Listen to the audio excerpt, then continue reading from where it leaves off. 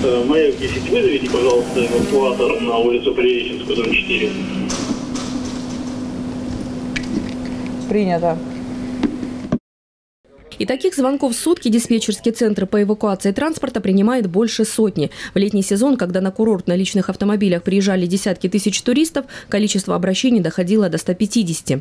Заявка инспектора ДПС фиксируется, высылается эвакуатор, а параллельно диспетчер отслеживает дорожную обстановку. Картинка с десятков камер уличного видеонаблюдения также анализируется в этом центре.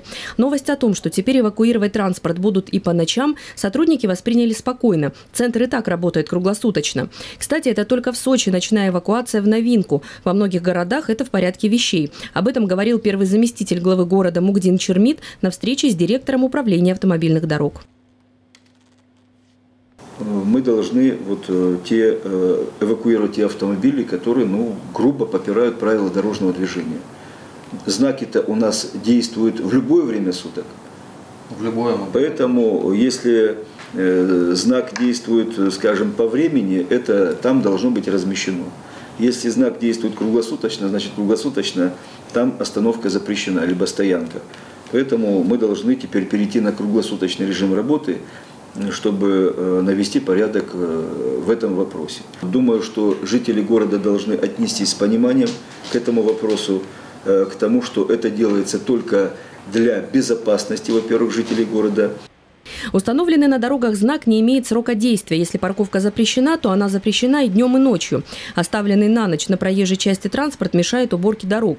Из заброшенных автомобилей не могут проехать машины экстренных служб. Один из ярких примеров – пожар на улице Цюрюпы. Спецтехника потеряла драгоценное время, прорываясь через забитую машинами улицу. Сейчас там, на одном из участков, в порядке исключения, будет рассмотрен вопрос об установке знака, запрещающего парковку.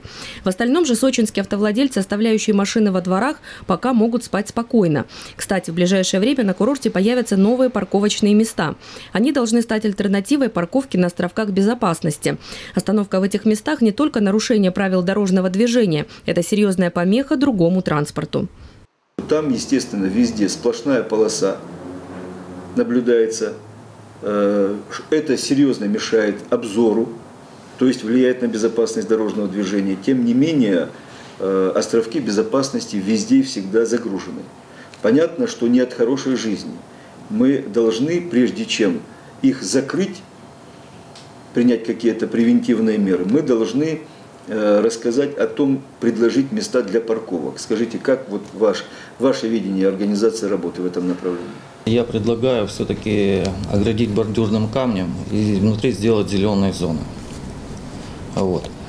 Это лучший вариант, который мы рассматривали. Он самый эффективный вариант и по безопасности дорожного движения, и по всем остальным параметрам. Это эффективный вариант, но не окончательный. Как и чем закрыть доступ на островки безопасности, решат после обсуждения с представителями общественности на ближайшей комиссии по безопасности дорожного движения. Галина Моисеева, телекомпания ВКТ.